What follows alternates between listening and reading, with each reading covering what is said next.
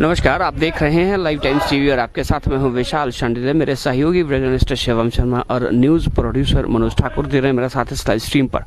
ऊना जिला के पेखुबिला जवाहर नवोदय विद्यालय से आपके साथ लाइव जुड़े हैं जहाँ पर इस वक्त देशभक्ति की सेवा देशभक्ति और देश सेवा की शिक्षा देने की पाठशाला यहाँ पर शुरू हो गई है। और 10 दिन का ये एनसीसी का कैंप यहाँ पर शुरू हो रहा है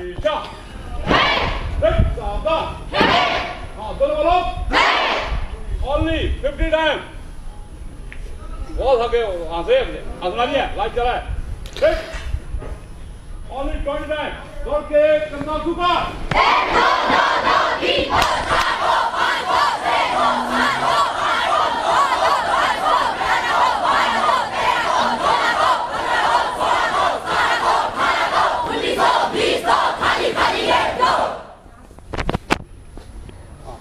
तो निश्चित रूप से ये यहाँ पर जो है वो इन छात्रों के लिए भी एक कड़ा समय रहेगा। भीषण गर्मी के बीच इन लोगों के लिए भी काफ़ी सारी चीज़ें चैलेंजिंग रहेंगी हालाँकि बात करेंगे तो निश्चित रूप से इन तमाम बच्चों को।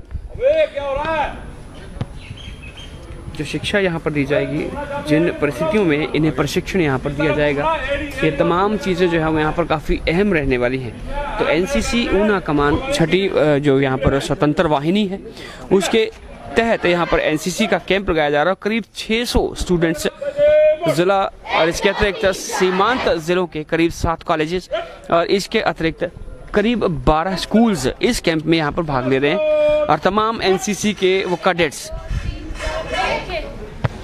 एनसीसी की बड़ी बेसिक सी चीज़ें यहाँ पर जो है वो बच्चों को पूरी तरह उन बच्चों को यहाँ पर इन चीज़ों के बारे में बताया जा रहा है उनके ऊपर डॉल पूरा ये ये एरिया ये पूरा बनाना है ये।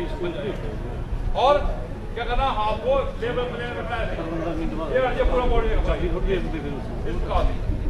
ठीक है? जवाहर नवोदय विद्यालय ऊना के पेखुबेला का ये विद्यालय परिसर यहाँ पर एनसीसी के कमान अधिकारी। है? कर्नल मंगेश वानखेड़े यहाँ पर पहुँचे हैं दौड़ के कंधा सूखा हमारे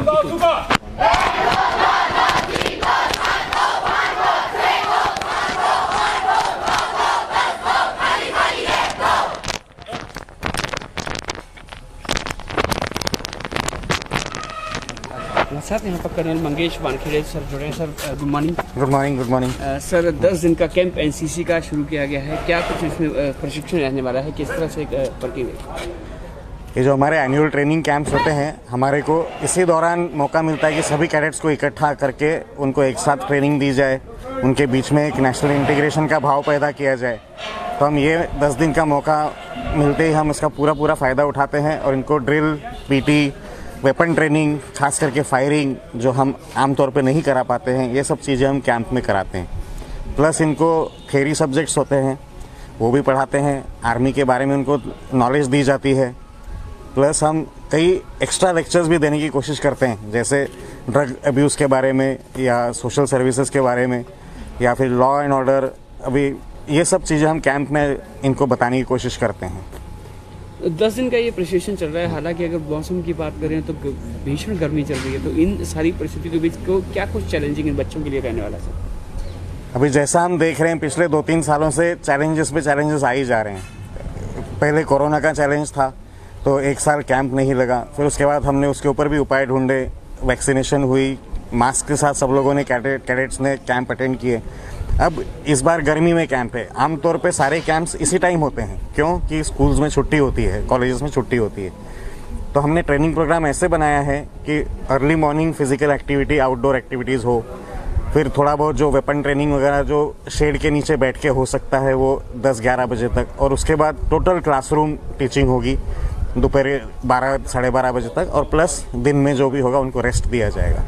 और शाम का गेम्स भी शाम के थोड़ी सी गर्मी के कम होने के बाद ही उनको बाहर निकाला जाएगा। वानखेड़े सर कितने स्टूडेंट्स कितने कैडेट्स यहाँ पर पहुँचे हैं? कहाँ कहाँ से कैडेट्स हैं? इस कैंप की हमारी टोटल स्ट्रेंथ है रफली 550 कैडेट्स और पूरे ऊना शहर के ऊना डिस्ट्रिक्ट के जो कॉलेजेस हैं हमारे पास सात कॉलेजेस है उसके करीबन 250 कैडेट्स और स्कूल्स के अबाउट 300 कैडेट्स इस कैंप में आएँगे। धन्यवाद सर, और ये थे मंगेश वानखेड़े यहाँ पर कमांडेंट कमांड ऑफिसर हैं, कमांड अधिकारी हैं नेशनल कैडेट कोर के।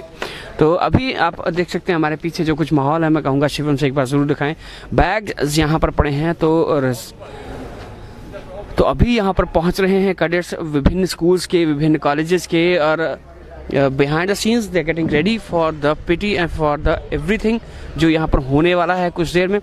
तमाम चीज़ों के लिए सभी कैडेट्स अपने आप को बावर्दी तैयार कर रहे हैं ताकि इस तरह जो रिसेप्शन इनका एक ख़ास तौर पर रहता है तो उसी को लेकर एक ब्लड डोनेशन कैंप भी यहाँ पर आयोजित होने वाला है। उसको लेकर भी यहाँ पर इन तमाम कैडेट्स को जो है वो यहाँ पर मोटिवेट किया जा रहा है।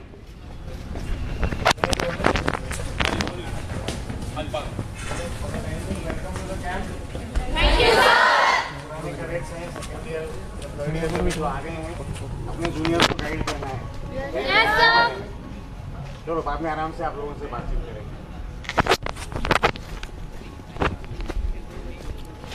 ये दौलपुर इंडेक्स सावधान इंद्री का बगल ये बाजू वाला बात साइड हो जा पूरी खाई आज भी किया तक। नहीं हो रहा जब तक। साथ बैठे हैं। हाँ।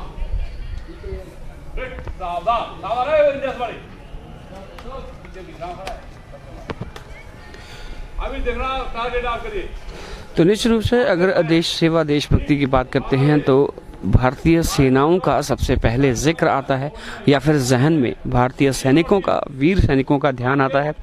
तो ये भी कुछ इस तरह से एक ऐसी पाठशाला जो इन बच्चों को भारतीय सेनाओं तक, सैन्य सेवाओं तक, सैन्य अधिकारियों के, कर्मचारियों के रूप में सेवाएँ प्रदान करने के लिए न केवल मोटिवेट करती है, बल्कि आरंभिक तौर पर बाकायदा प्रशिक्षण भी इन्हें दिया जाता है।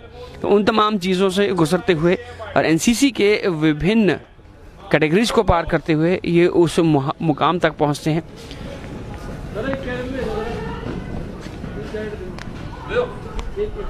एक ले लो फ़ाइल